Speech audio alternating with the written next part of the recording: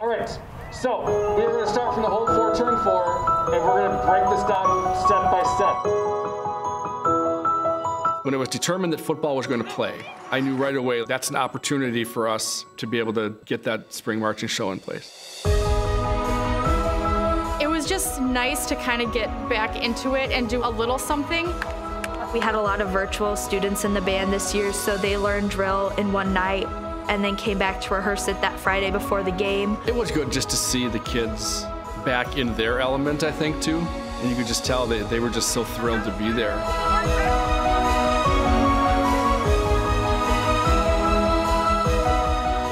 So there's people that they hadn't seen, and then their virtual friends that if they only saw in school, they hadn't seen in a year.